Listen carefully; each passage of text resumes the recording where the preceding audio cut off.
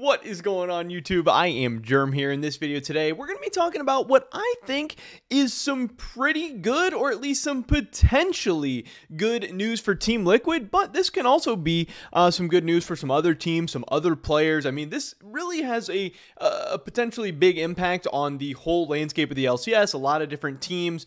Um, and, and what we're talking about in this video today is the fact that the Proving Grounds tournament just uh, ended. You know, we had the Proving Ground final, we had 100 Thieves Academy, and we had Team Liquid Academy. Um, they had a, a, really a banger of a series, went all the way to Game Five. Game Five was pretty close. A lot of big moments, big plays uh, being made by both teams, by a lot of players. Um, some people really stepping up, some people maybe not so much, but a lot of players overall added to their stock and to their value. And not that I'm the biggest fan of Academy or the biggest fan of Proving Grounds or whatever, but there are some of these guys that are going to be future LCS players, and hopefully at least some of them that are going to be future LCS, um, you know, stars or at least really good LCS players. Um, and I have a lot of different thoughts and opinions and and a lot of different takes here that I've been wanting to talk about. So that's what we're going to be doing today. Definitely drop a like if you guys do enjoy this video. I would appreciate that so, so much. Uh, subscribe to stay up to date on all my latest content. Help us run those numbers up. And consider checking out the Patreon. First link in the description below. It's an awesome way for you guys to help support my channel and my content. My ultimate goal is to go full time. So helping us get closer to that. And in return, you're going to get access to all my videos pretty much early before they actually go live on YouTube. With that being said, let's get right into this. So, uh, Academy, really, really interesting. Um, you know how there are definitely some good organizations in the LCS right now, and definitely, uh, you know, some not so great organizations. Now, some teams have good LCS teams, bad Academy teams. Some have, um, you know, bad Academy teams, good LCS teams. Uh, I don't know if I said the same thing there or not, but you know what I'm saying. Some there's sometimes your LCS team and your academy team are run differently. Sometimes they're the same. You know, TL obviously is a good LCS team, and their academy team was in the finals. 100 Thieves good LCS team, good academy team. That makes me think that those organizations are pretty well run, but obviously they also are spending money on players for both their LCS and academy, uh, coaches, uh, you know, infrastructure, all that. It's definitely helping out the players. But then it's kind of funny how, you know, like last year you had a team like CLG with a bad LCS and academy team. This year you have TSM with a bad LCS and bad academy team. Um, and that's just not a great look for your organization. It's not a great look for the near term or the you know development in the future, anything like that. But um, yeah, cool for Team Liquid and Hundred Thieves that they're both still alive in the LCS playoffs and we're playing in the Proving Grounds final, the Academy final, Academy and Amateur coming together, whatever.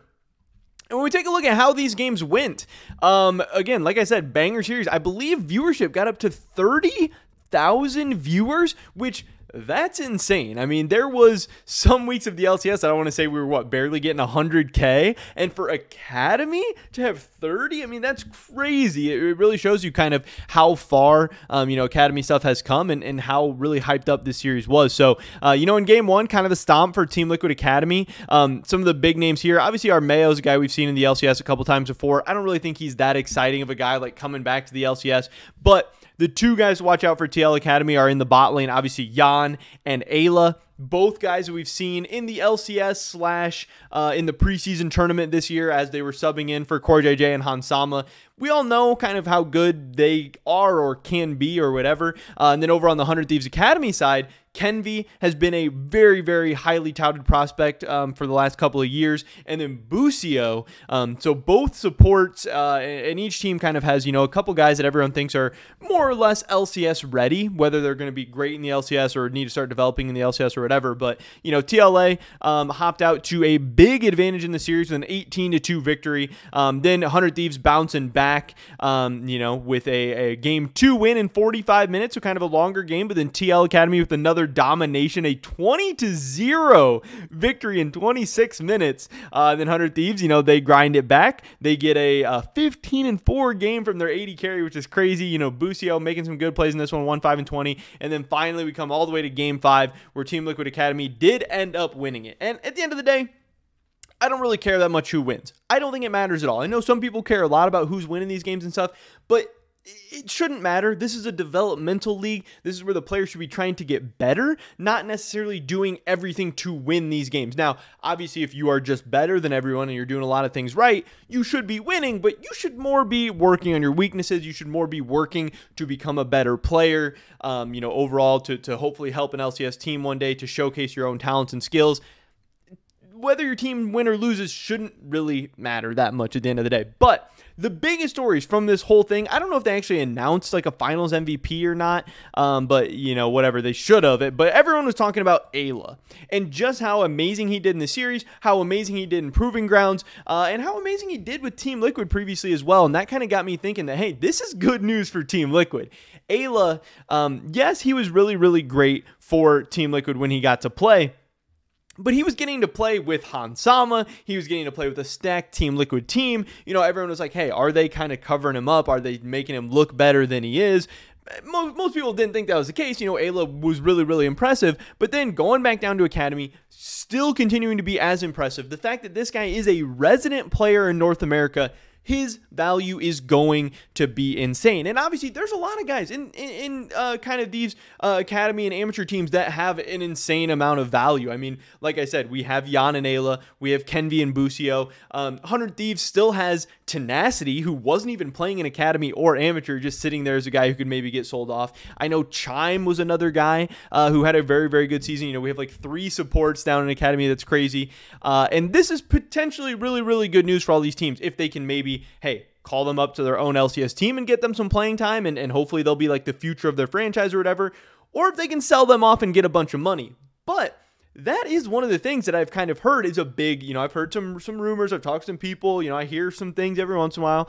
Um, it's kind of a big hiccup with this whole system right now is that these teams put these really, really high price tags on a lot of these players. Um, now, I don't know what that means. I don't know. You, you, know, we've seen players go for as much as seven figures, but are we talking seven figures? Like for a guy like Tenacity or a guy like Eyla, they should be really valuable because, you know, they're young, they're inexperienced, they seem to have a lot of room to develop, but they also seem pretty good right now and they are residents. You know, top resident talent is, is hard to come by, and that should have a high value. But um, yeah, are we talking seven figures? Are we talking high six figures? Are we talking low six figures?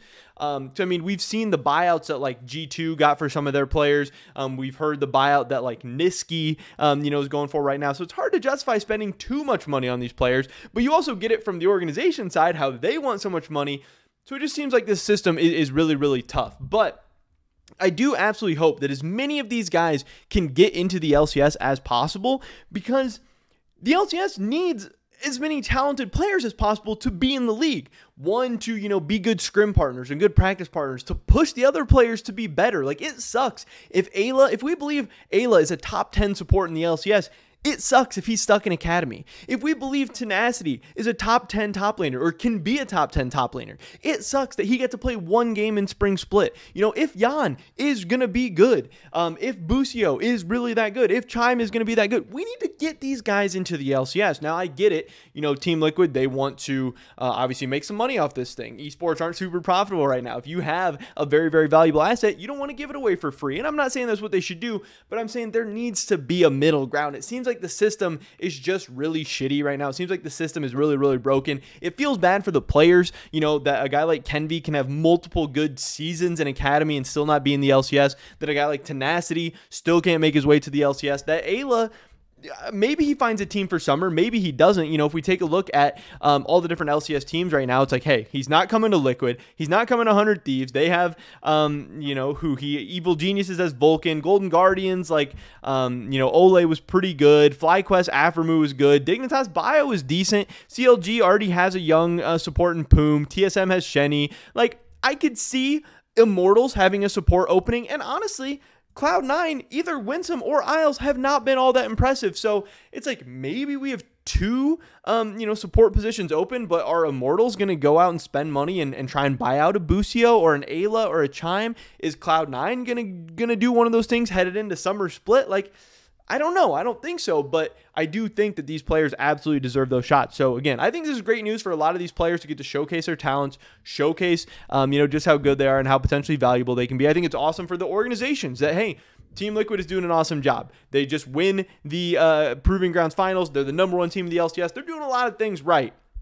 But, uh, you know, at the same time, I do think we need to start getting these players up into the LCS and start developing them and, see what they have. Now, there's always the other question of like, hey, some players just look really good when they're on a stacked team. Some players look really good when they're in academy playing against, you know, worse players and it doesn't work out in the LCS. And yes, that's going to happen. There is always that risk. I'm thinking about a guy like Jenkins last year. He got to play on Team Liquid, who is a very, very good team. And a lot of people thought he looked good. Now, I thought he was extremely overrated last year. I thought he looked okay. Never really thought he looked all that great, but so many people were hyping him up. Um, and then you see him go to CLG this year, and man, he looked pretty rough on CLG. You can tell that League of Legends is a team game, and getting to play on a good team or against worse players can definitely make you look a lot better. So, you know, I have some of those, I, I wonder some of those things about guys like, like Eyla, guys like Yeon, who looked really good playing for Team Liquid at times this year. How good are they going to look on a, an Immortals? How good are they going to look on a CLG when they're not, um, you know, laning with CoreJJ or Hans Sama or having Bjergsen as their mid laner? You know, that's always a risk involved. And that's also why these teams don't necessarily, you know, maybe want to go pay these insanely big buyouts for some of these players. Um, but man, seeing proving grounds, seeing all this going on, it just gets me hyped up for these young players. And like we know we need more resonant talent in North America. We know we need to find, um, you know, the next like double Doublelift that's going to burst onto the scene. Maybe it's Tenacity, maybe it's Eyla, maybe it's one of these other guys, but they have to get playing in the LCS. We need to get them up there to, you know, start making it happen. You know, think about guys like Danny and guys like guys like Jojopyun who burst onto the scene right now. If they were still in academy, that would suck. It would be worse for Evil Genius. It'd be worse for the LCS. It'd be worse for all the other teams, all the other players. It'd be worse for the fans. We got to get these guys a chance. We got to get them rolling. I do think the system is a little bit broken right now. Um, but hey, it's cool to see Eyla dominating Proving Grounds, and I hope he gets a shot in the LCS in summer. Um, but I just don't know how likely it is at this point. But that is pretty much it for this video today, guys. Me drop a like if you did enjoy it. I would appreciate it so, so much. A little bit of a different video today. Leave a comment down below. Let me know, um, you know, what you guys think about any of the proving grounds, any of the young players, any of the academy teams. Who do you think should make it to the LCS next? What team? Uh, anything that we talked about in today's video. Subscribe, stay up to date, and all my latest content. Hopefully catch you guys in the next one. But until then, peace.